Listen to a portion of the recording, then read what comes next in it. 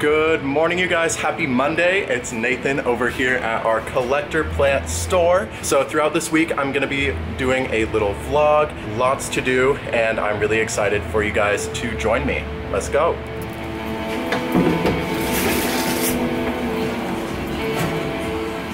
So, refilling these humidifiers is definitely quite the task in the morning, uh, but I actually really don't mind it. I find it to be kind of meditative, just sort of the back and forth. There's no really thinking to it. It's a good way to get into sort of a relaxed headspace for the day.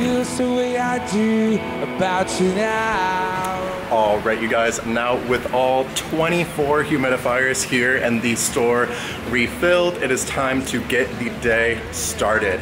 So the first thing I like to do on my Mondays is to go ahead and walk through our retail store before we open, just to kind of get a good idea of what may have sold out over the weekend, what might be needing a little extra help, some TLC.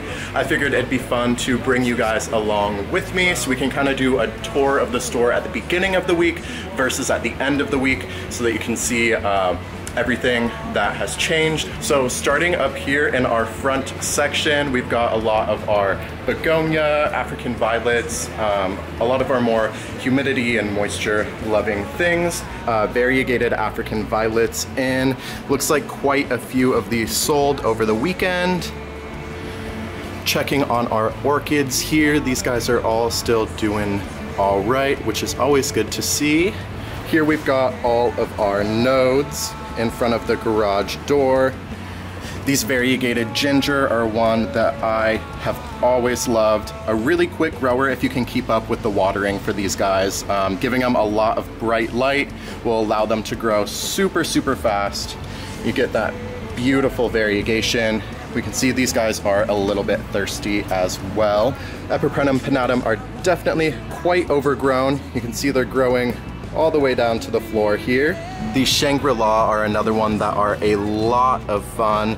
You get that wrinkly foliage when you provide them bright enough light. A lot of people tend to think there's something wrong with them, but when they're wrinkly like that, that means they are happy. These guys grow super, super fast when you give them a lot of bright light. We'll do a little restock and a little cleanup on our Scindapsus silver cloud as well. Chopping back these Scindapsus officinalis. These guys are quite overgrown and definitely ready to be propagated. Here I can see we'll probably have to restock a little bit on our um, Scindapsus jade. All right, moving down our next row, we've got a lot of our Hoya. We did a pretty big restock on these guys uh, last week, so we should be good for this week. Got lots of these sigillatis, Hoya patella. This is one that often gets overlooked, but I think they are such beautiful plants. You get that really nice dark foliage, and then they're also sort of fuzzy as well. You can see here, it looks like Hoya Mathilde was pretty popular this weekend. We're down to just two left. All of our bromeliads. This is a variety that I have been loving lately. Um, these super bright flowers, just that vertical growth. I think they are visually so exciting. These Bromeliad Gizmo are one that I'm definitely planning on picking up sometime this week for sure.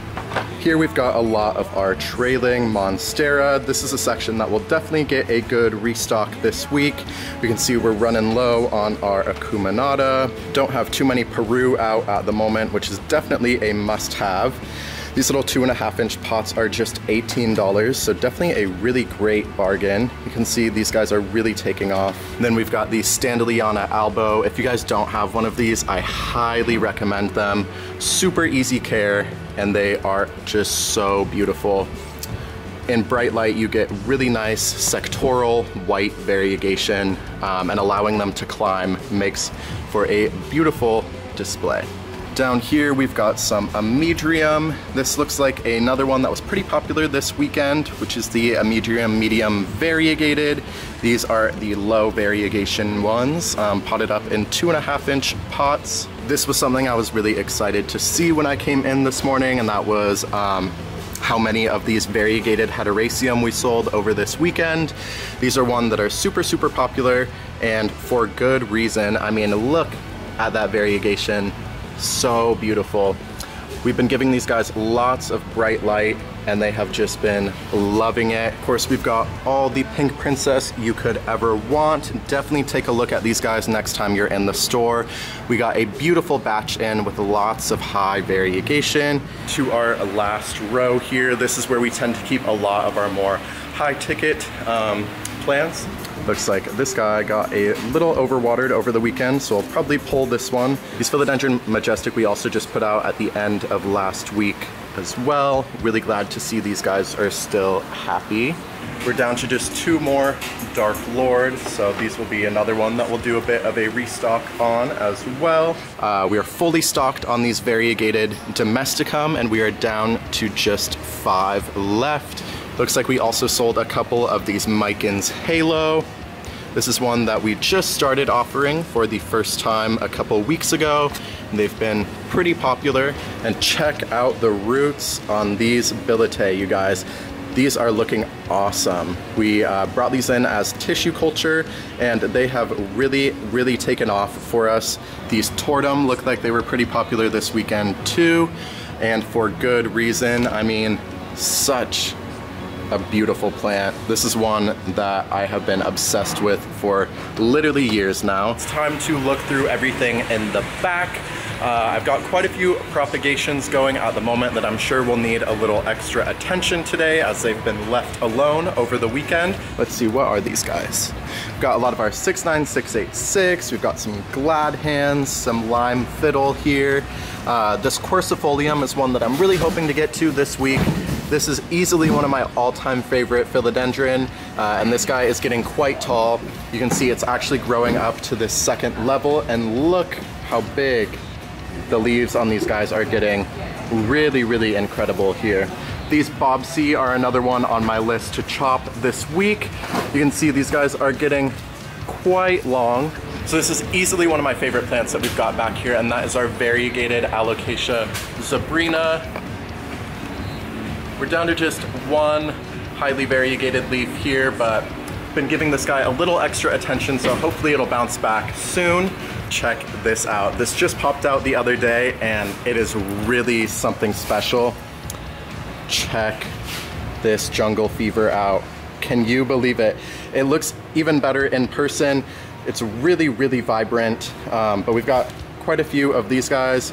Maybe we'll put one of these up for sale this week. Here we've got the last of our Philodendron Dark Lord that are potted up and ready to be sold. Moving down here, this is everybody's favorite section, and that is all of our Monstera albo and Thai Constellation. These are all of our mother plants here that were recently chopped up. So if we move down, I'm super, super excited to get these on the website. Look at that half moon leaf. Oh my gosh. These are all really incredible. I chopped them up um, about two weeks ago, so definitely some of them should be rooted enough um, to be sold. These are another one I'm super excited to offer here in the store shortly, and that is the Philodendron Florida Beauty. You can see all of these ones that we chopped up late last week. Um, I think, let's see, we've got about 30 of them available, so that will definitely be a fun one to post on the website. A lot of these Philodendron Majestic that are ready to go really large leaves on these guys. Variegated Burle Marx that we'll probably post on the website today if we have time. We've got nine of them, it looks like. We've kind of been trying to clear these guys out, doing some spring cleaning. Um, we're importing lots more uh, anthurium, and so we're trying to get rid of some of our older specimen. Here's all of those billietiae I was telling you about. Now working our way into the grow room, that's where I tend to focus my attention first, just because that's where a lot of our higher ticket items are. Um, and just with the more intense conditions in here, it's really important that we stay on top of the watering. Got lots of these melanobullata going at the moment, really similar to the uh, Begonia ferox, but these guys produce the little spikes on their leaves a lot earlier on in their lifespan.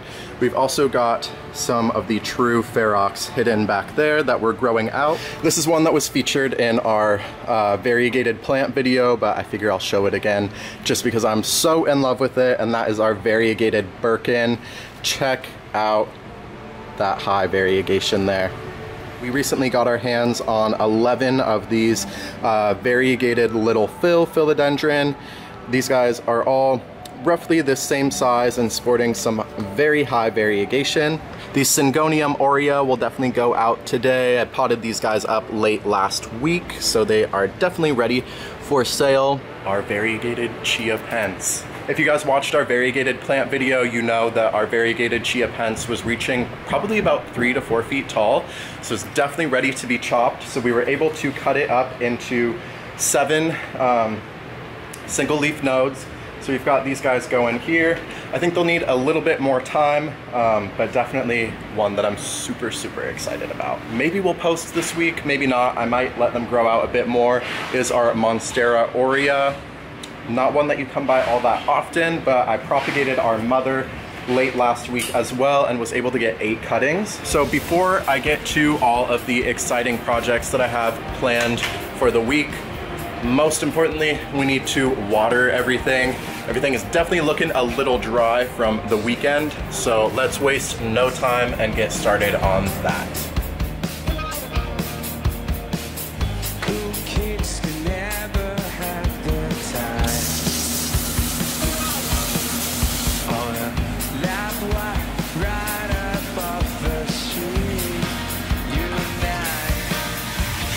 On these prop boxes, I'll just go ahead and sort of mist them.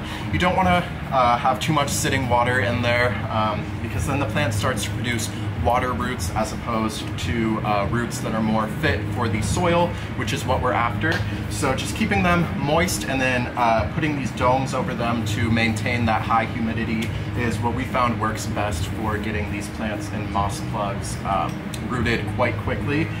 Once we cut something and put something in a moss plug, we're looking at typically about a week and a half to two weeks before it's well rooted enough to be sold. Um, after watering here in the grow room, the conditions get quite a bit more intense than they already are. So you can see we're sitting at 85% humidity and 80 degrees.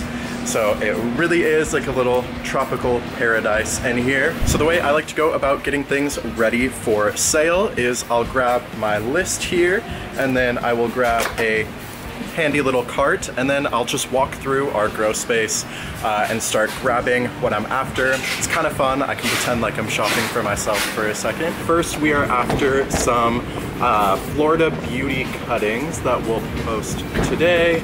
We're gonna go for five. Let's see. This one's looking quite nice. Got two, three, four, five. All right, next we are off for some Monstera albo. As I showed you earlier, we have quite a few going. You can see these guys have started to put out some good roots as well. So there's one, this one looks pretty good. Two, go three, number four, and five. Let's see, sometimes it takes a second to find what you're looking for. With this many plants, it's hard to keep track of all of them. Nicely variegated Peru that should be pretty well rooted at this point. Oh yeah. This guy should be good to go. So there's one and two. Next on our list is the Philodendron billet. These ones are quite large. I'm really excited uh, to offer these. To determine when a plant is ready for sale, I'm looking at a couple things. First and foremost, just the overall health and appearance of the plant. Of course, we don't want to sell plants that um, aren't doing so well. So I'll take a look at the leaves, make sure there's no signs of pests or any sort of fungal issues or anything like that. Uh, and then also taking a look at the root system is a really good indicator of the overall health.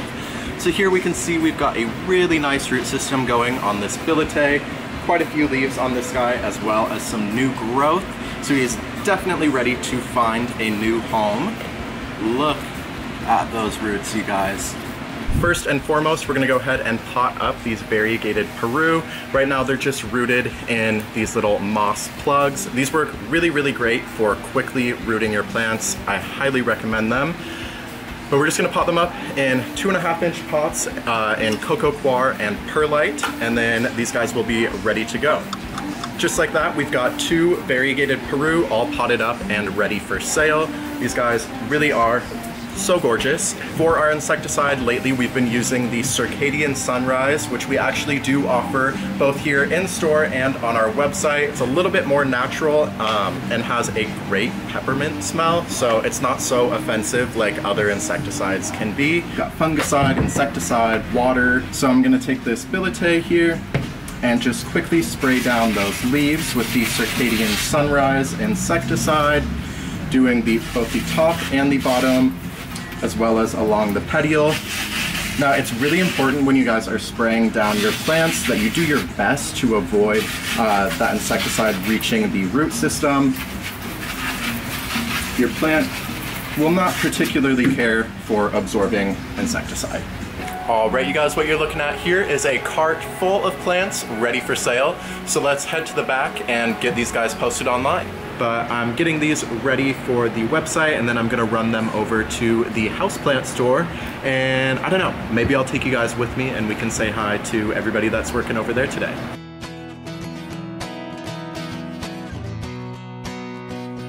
Hello you guys, we have just made it over to the houseplant location to drop off some orchids I'm to so Sawyer. excited, thank you for bringing Of over. course. They look great. So beautiful. Can't wait for everybody to pick them up in store. Look at this, so many flowers going on. I'm just gonna go ahead and grab all these trays here. Each of them have got 10 cuttings in them. I'm gonna go ahead and take all these guys out of their cups of water, give them a good rinse, rinse out the cups, and then take a look at the roots and the nodes to make sure there's no rot going on. While I do have the privilege of working with such um, uncommon plants on a daily basis, I will tell you the nerves of chopping and propping these guys uh, do not go away. I will tell you, propagating all of these Monstera albo, I was definitely very, very nervous. Um, but it is so good to see that pretty much all of these guys have got really good root systems going. I mean, check out this top cut. Like that's so good. Wow. Look at this three leaf top cut here. Really, really great roots. We love to see it. And I'm just gonna fill the cups up to right above the node. You don't wanna leave too much of the petiole sitting in water as that's really gonna increase your chances of rot. So the water we've got here in Petra has just got a really light solution of fertilizer in it, which will help promote some root growth and keep these guys nice and nourished while they're under the bright grow lights. Preheat your soldering iron and then stick it straight through. So I'm gonna add a couple drainage holes here in the bottom to prevent any standing water. Now I've got some pre-moistened uh, sphagnum moss. We sell this here in store and online. When you're doing this, it's really important that you don't overdo it on the moss. That's something that I tend to see uh, a lot of people do, but um, you wanna be careful not to suffocate the plant in the moss. So just sort of bunching it around being careful not to keep it too close to the crown of the plant. Nice and loose for some good airflow. And for your moss, this is about the color it should be um, when you're potting your plant up. You don't want it much darker than this. Making your moss too wet is gonna hold way too much moisture against the plant and once again increase those chances of rot.